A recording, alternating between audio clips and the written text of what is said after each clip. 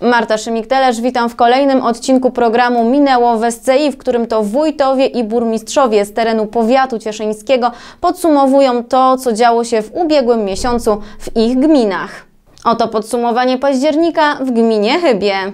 Szanowni Państwo, w związku z budową kanalizacji sanitarnej na terenie aglomeracji Chybie w miesiącu październiku e, mogę uprzejmie poinformować o kontynuacji prac związanych z odtwarzaniem nawierzchni w rejonach ulic, w których była budowana kanalizacja sanitarna. Mm, Stan na październik to jest 3,5 tysiąca metrów kwadratowych odtworzonych dróg, e, jak również o wyłonieniu wykonawcy na rozbudowę układu gospodarki osadowej na oczyszczanie ścieków e, w sołectwie Mnich w naszej gminie o wartości ponad kontraktu ponad 4 miliony 105 tysięcy złotych. To było podsumowanie października, a już teraz bardzo serdecznie zapraszam do oglądania kolejnego odcinka Minęło w SCI. Do zobaczenia!